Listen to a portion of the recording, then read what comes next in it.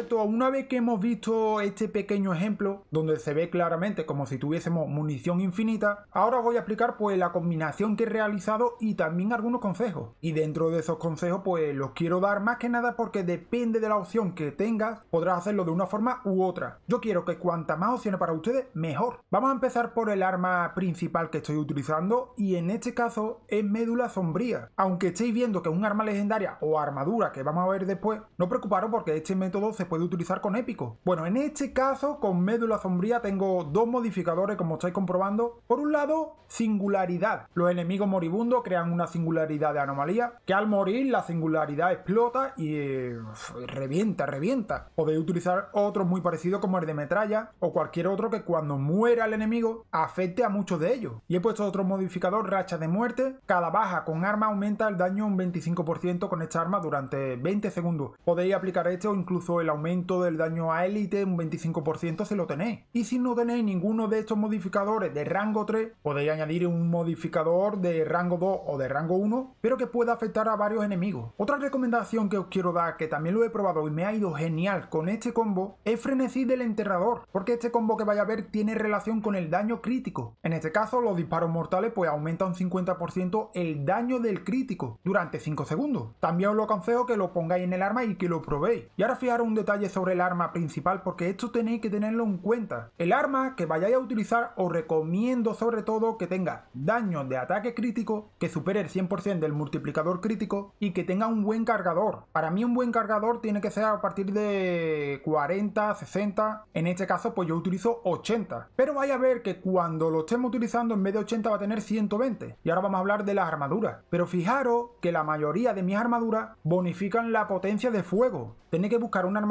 que bonifique esa potencia de fuego y que aumente también el daño de arma. Os recomiendo que pongáis sanguinario porque al matar enemigos con un arma aumenta la potencia de fuego en 10. Vista del lince que viene con la boina de Sergio, estos dos modificadores van a provocar que aumente muchísimo la potencia de fuego. Como armadura, como estáis comprobando, tenemos penetración tóxica y este modificador sí o sí tenéis que tenerlo para esta combinación. Aumenta la efectividad de envenenamiento un 20%. La bonificación es igual a 100% de tu penetración de armadura y que aumente la efectividad al menos un mínimo de un 15%. Le he añadido un aumento de armadura y resistencia con este modificador. Este pantalón lo tiene Tiago. Y aquí os voy a dar una recomendación. Podéis poner análisis crítico para aumentar el daño crítico con los proyectiles corruptos, pero si veis que os cuesta un poco tener la munición infinita con el combo que os estoy enseñando, una recomendación mía sería bajo la manga. Porque mientras la habilidad esté activa, los disparos mortales harán que tu cargador tenga un 30% de balas extra. Y yo lo he utilizado y es muy muy buena. Solo que estoy probando con diferentes modificadores. Podéis poner cualquiera de los dos. También me preguntaréis que por qué no pongo un cargador adicional. Podéis ponerlo,